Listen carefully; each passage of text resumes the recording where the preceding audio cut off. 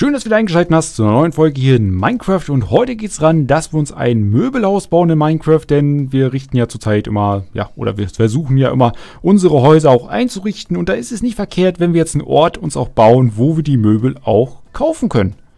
Nur leider ist meine Lieferung an Möbel noch nicht angekommen, daher ist es hier ziemlich leer noch. In der nächsten Folge oder in der übernächsten Folge müssen wir mal schauen, wie ich oder was für Videos kommen.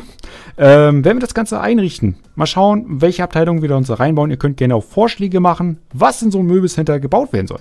Ihr seht schon, wir haben auch hier wieder eine automatische Tür. Wenn euch sowas interessiert, oder ihr seht ja auch, wir haben da wieder oben Banners, wie man sich die craftet, äh, schaut einfach in der Infobox nach, da gibt es immer die passenden Videos dazu. So, ansonsten heißt es, Blöcke in die Hand und dann geht's los mit unserem Möbelhaus.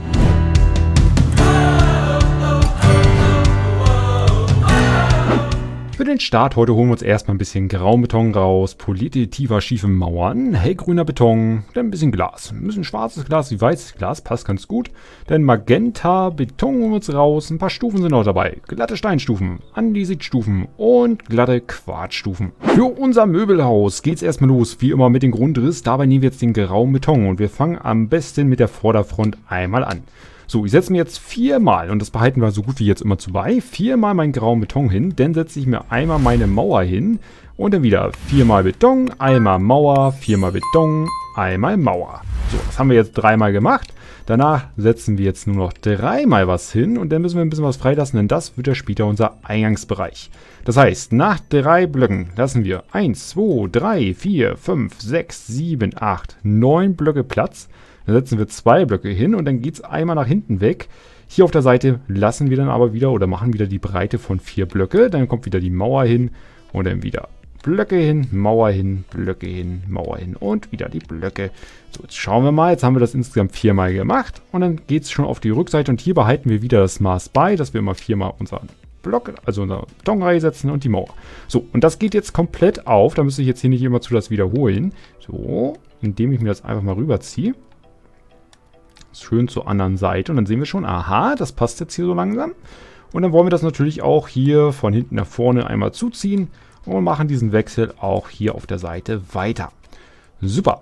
So, jetzt könnt ihr eins machen und zwar, ihr könnt unter euren Mauern den Boden ändern, wenn ihr wollt. Entweder ihr lasst das so, wie ihr es draußen habt. Bei mir jetzt später, sage ich mal, mache ich ja noch ein bisschen Stein ringsrum, von daher habe ich mir darunter auch Stein gesetzt. Aber du kannst auch gerne den grauen Beton darunter setzen. Ne? Das kannst du dir überlassen. So, jetzt gehen wir mal vorne zum Eingangsbereich. Hier könnt ihr, wenn ihr wollt, das Ganze einmal so freischlagen und da mal den grauen Beton untersetzen, weil in der Mitte kann man es ruhig machen. Man könnte auch noch sich ein bisschen Nederitblöcke nehmen und sich diesen Eingangsbereich ein bisschen anders gestalten, sodass ihr sagt, ihr habt hier noch so eine kleine Fußmatte. Da macht ihr so ein 3x3 Fett in der Mitte hin, an den Seiten habt ihr nochmal drei Blöcke. Wir haben hier eine Länge von 9 Blöcke frei, also passt das ganz gut. So, jetzt wollen wir das Ganze natürlich einmal hochsetzen. Das heißt, wir machen das Ganze jetzt auf 10 Blöcke hoch. Den untersten zählen wir natürlich mit. Also 1, 2, 3, 4, 5, 6, 7, 8, 9, 10. So, wenn wir diese 10 Blöcke jetzt hochgesetzt haben, bleibt uns natürlich nichts übrig, als jetzt hier das ganze äh, ja, Grundriss, was wir uns hier aufgebaut haben, jetzt auch noch hochzuziehen. Das heißt, wieder macht die schön Musik an, denn das dauert wieder ein bisschen. Ich werde hier wie immer einmal cutten und bei mir wird das Ganze dann ähm, ja, gleich fertig sein. Ich stelle mich hier kurz vorne hin und dann ist bei mir schon das, ja, wie immer fertig gebaut. Tja, wenn wir denn soweit das Ganze hochgezogen haben, fangen wir auf der Vorderseite an, wo wir natürlich unseren Eingangsbereich haben. Da könnt ihr gerne nochmal die letzten drei Ebenen miteinander verbinden. Und wenn wir das haben, nehmen wir jetzt unseren hellgrünen Beton einmal zur Hand und können hier oben schon drauf mal einen Kranz ziehen. Und zwar einmal ringsrum, überall so schön einmal lang, bis wir wieder vorne angekommen sind. Denn auf der Vorderseite bleiben wir immer noch mit unserem hellgrünen Beton dabei. Wir fangen gleich mal hier an der Seite an. So, da können wir jetzt gerne mal eine Reihe hochziehen auf insgesamt 9 Blöcke. Und ihr müsst das jetzt nicht zählen, denn unser grauer Beton ist auf 10 Blöcke hoch. Das heißt, ihr müsst hier einfach nur einen Block weniger euch setzen. So, jetzt fliegen wir einfach mal zur anderen Seite hier, wo wir es hier offen haben. Auch hier nochmal 9 Blöcke einmal nach oben ziehen. Wenn wir das soweit haben, können wir hier oben schon mal hier diese zwei Ebenen miteinander verbinden. Und dann wollen wir das Ganze so machen, dass es ein bisschen weiter nach vorne kommt. Das heißt, wir lassen jetzt unten drei Blöcke Platz. Dann setzen wir hier wieder die Ebene einmal nach oben. So. Und dann noch einmal drei Blöcke Platz lassen und die letzten drei Ebenen hier, zack, auch nochmal. So dass hier so eine leichte Steigerung nach vorne geht. So, auf der anderen Seite müssen wir natürlich nochmal synchron hinterherziehen, bitte. Und ihr könnt hier oben das einfach auch komplett einmal aushöhlen mit eurem Beton, dass es hier schön stabil ist. So, andere Seite auch nochmal. Da wollen wir es auch nochmal machen, dass es so schräg und ein bisschen leicht nach oben geht. So, immer diese Dreier-Etappen. Jawohl. Wenn wir das haben, geht es einmal in die Mitte. Äh, wir haben ja, sag ich mal, hier uns das so ein bisschen vorgekennzeichnet. Also ich habe es mir jedenfalls vorgekennzeichnet. So, und ich möchte mir gerne meine Tür hier einmal machen. Obwohl, das war jetzt falsch. und zwar möchte ich mir einfach äh, mir später so eine Schiebetür machen. So, das heißt einfach, ich setze mir jetzt hier meine Mauern hin. Einfach um eine zwei Höhe. Da oben dann einfach mal dreimal den grünen Beton hin.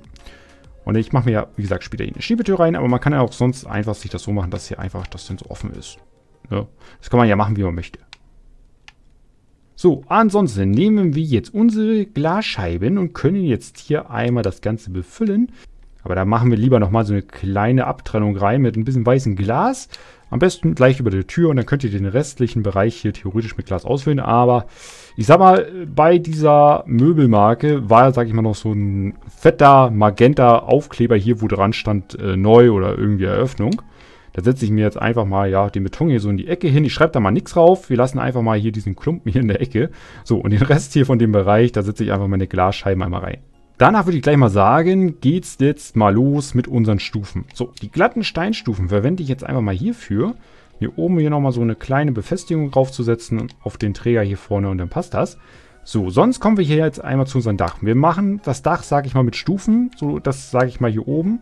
Also von oben, wenn du rauf guckst, halt unsere Andesitstufen siehst. Und von unten, wenn ich finde, Andesitstufen sehen immer so hässlich aus als Decke, nehmen wir einfach die glatten Quarzstufen, dass man innen drin halt das nicht so sieht. Ne? Meine letzte Ebene hier bei meiner Decke oder bei, meinem Dach. Und dann haben wir das soweit ausgefüllt. Wir machen mal einen kleinen Blick in den Laden rein. Jawohl, das sieht doch ordentlich aus. So, jetzt nehme ich mir nochmal einen Magenta Betonblock einmal raus. Und zwar möchte ich mir vorne nochmal dieses große X einmal machen. Ähm, einfach jetzt hier, würde ich sagen, ne, nach unserer Zweierreihe, einen Block einfach mal freilassen hier. Zack. Und dann setze ich mir jetzt hier so ein kleines X einmal rein. So, das hat jeweils eine Länge von fünf Blöcke, die sich hier einfach übereinander kreuzen. Und dann fehlt nur noch eine Sache. Und zwar unser hellgrüner Beton. Und zwar vorne ist meistens mal so ein bisschen was abgegrenzt. Äh, einfach vom Träger hier. Immer so etwa zwei Blöcke Platz lassen und dann zieht ihr euch das hier einfach so ein bisschen lang. So, ihr könnt euch das abgrenzen, wie ihr wollt. Ihr könnt jetzt hier weiter noch rausgehen oder einfach dann sagen, so, nee, jetzt möchte ich hier wieder einmal zum Gebäude rangehen. Da könnte man ruhig noch einen Knopf nehmen, das Ganze so ein bisschen damit dekorieren und einmal überall noch das einmal raufsetzen. Wir wollen natürlich noch an unser Möbelcenter die Schrift einmal anbringen und die sage ich mal hier oben dran so ein bisschen. Ähm, ja, wie man sich natürlich jetzt wieder Buchstaben auf Banners craftet, ja, verlinke ich dir wie immer einmal oben in der Infobox. So, und jetzt gibt es hier einen Buchstabe, der ist ein bisschen kompliziert und zwar müsst ihr da einfach ein Ö euch machen. Und ein Ö ist nicht immer so einfach. An sich macht ihr einfach ein ganz normales O, wo ihr oben dann einfach nur den Bereich halt weiß lässt. Und jetzt müsst ihr entweder, setzt euch hier einen Block hin oder ich nehme jetzt einfach mal so einen unsichtbaren Barriereblock. Und dann setze ich mir jetzt hier noch einfach so ein paar Pünktchen hin, die ich mir hierzu gezeichnet habe. Dann haben wir ein Ö. So muss man sich ein bisschen tricksen. Wir haben leider hier oben denn das Banner, was ja noch so ein bisschen übersteht, aber naja, das stört jetzt nicht so unbedingt. Ne, das geht auch so ein bisschen unter, aber ne, so haben wir dann, sage ich mal, auch in Minecraft ein Ö hingekriegt. Und somit auch die Schrift der Möbelkette raufgesetzt. Wir werden natürlich noch eine weitere Folge zu diesem Möbelcenter machen, da ich noch nicht genau weiß, wie ich es mir einrichten möchte oder was für Möbel ich hier verkaufen möchte. Äh, ihr könnt ja gerne einfach ein paar Vorschläge machen, was wir hier so reinsetzen sollen, was wir verkaufen sollen. Einfach nur Möbel oder ich weiß nicht, was hat dieser, ja, diese Möbelfirma, dieses Möbelhaus noch so im Angebot? Vielleicht auch Bäder, ich weiß es nicht. Wir müssen mal schauen wie wir uns das natürlich gestalten wollen. Und auch draußen kann man noch ein bisschen was machen, denn ich habe gesehen auf vielen Bildern von diesen Möbelketten, ähm, ja, warum sind hier Tische? Äh, ganz einfach, hier war irgendwie so ein Imbisswagen. Vielleicht baue ich mir auch hier so eine Imbissbude einfach mal an das Gebäude mit ran. Muss ich mal gucken, wie ich das machen will. Jedenfalls, die Tische stehen hier schon. So ganz einfach gehaltene Minecraft-Bänke. Wir sind wieder am Ende des Videos angelangt. Unser Möbelhaus steht. Natürlich müssen wir es nur einrichten. Noch so ein kleiner, kleine Bonussachen werden auch in Zukunft dazukommen. Aber für heute sind wir erstmal fertig. Wir haben ja, ein neues Möbelhaus.